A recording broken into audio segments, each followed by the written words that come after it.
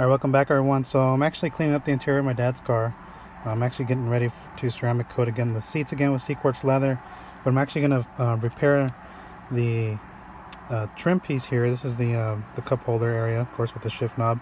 Um, well, we got this piece here where um, little storage area. I'm going to show you the condition it's in. Uh, it's been about a little, it's been over a year since um, this thing's been polished out. I did uh, put a ceramic coating on it. I put the 22 PL VX Pro 2, which is like whatever.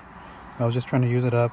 Um, so what I'm going to do is actually I'm just going to use this uh, slick back primer polish from Shine Supply. This is like a essence, uh, but it doesn't have fillers. Let me just shake it up real quick. Then I'll show you guys the condition. Uh, let me just put some on the pad. That's what I'm doing here. That should be good enough. Uh, let me put this down here on the floor. And then we'll look at the condition here. I have the headlamp here, so Scangrip. You can see how swirled that is. So it's pretty banged up uh, from just uh, daily use. Um, so I'm going to go ahead and take some of that polish on here and just kind of spread it out. And I'll just do this section so you guys can actually see what we're what this can do. Uh, let's try speed 3 on the Rupes Nano here for a second. Now this polish does not have a lot of cuts. A lot of the cut's going to come from the pad. This just has a light cut. I'm not trying to um, remove it 100%. We're just trying to make it look better. And I have it set on the rotary setting. And the reason I have it on the rotary setting because it just spins better than the uh, than the DA setting.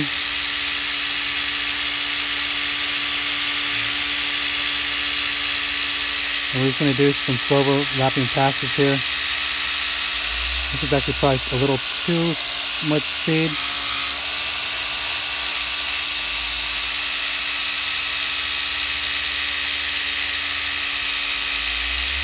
And this is actually a primer polish for, uh, before coating. This is actually Supply's version. I think that should be good enough. So let's go ahead and uh, wipe this off.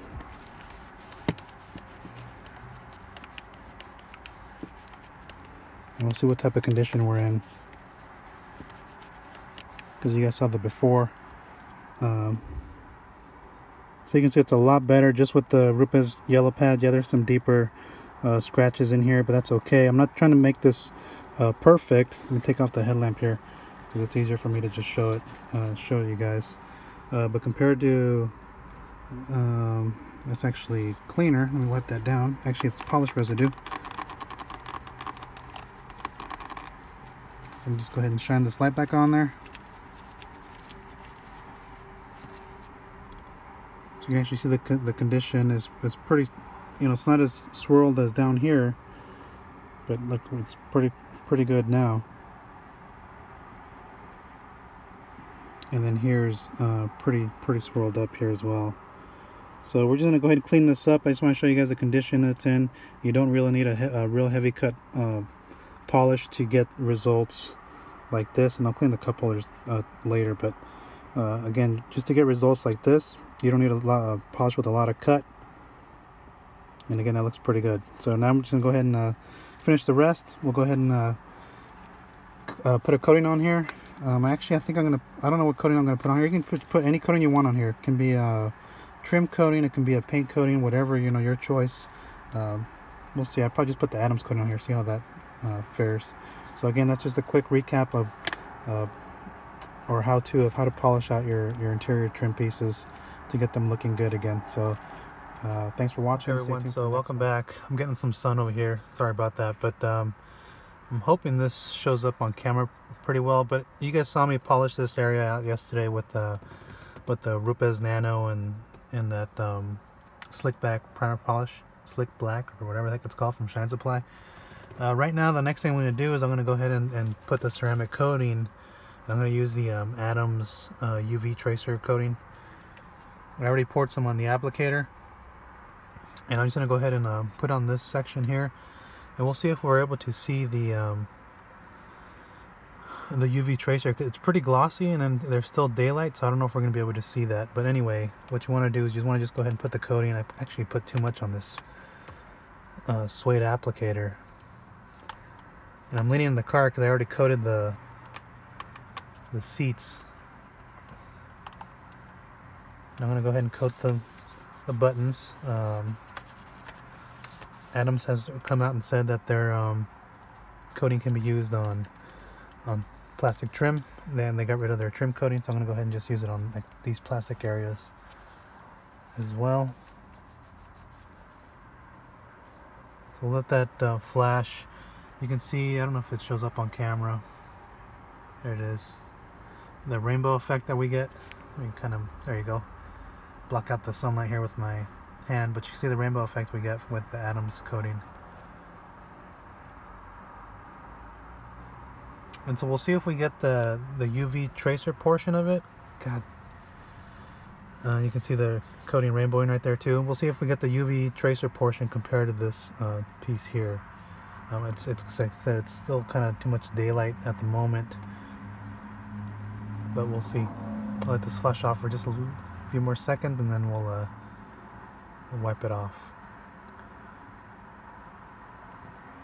So you can see that the rainbow rainbowing is starting to die off a little bit. That means it's starting to flash off. At this point, I go ahead and, and wipe off the coating. Adams coating, the new one, this new coating is pretty nice to work with. It leaves the surface um, slick. And it seems to stay slick for um, for a couple, at least for a couple months. At least that's what I'm seeing in my um, in my test. Let's go ahead and wipe those areas that I put this on. I flip to the other side and then we'll wipe it off. Final wipe. And we'll see if we see anything with this UV light. I don't know because there's kind of too much daylight here at the moment, but we'll try. Ah, so you can actually see. Let's see if I can, maybe that's better if I do it there. How it looks blue compared to that. So that's how you know that the coating is on there.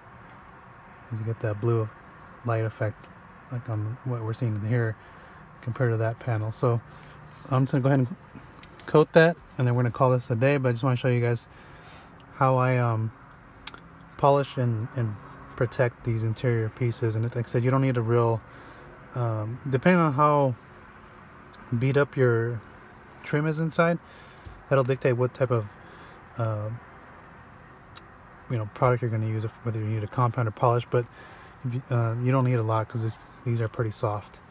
All right, so that's it. Thanks for watching, and catch you on the next one.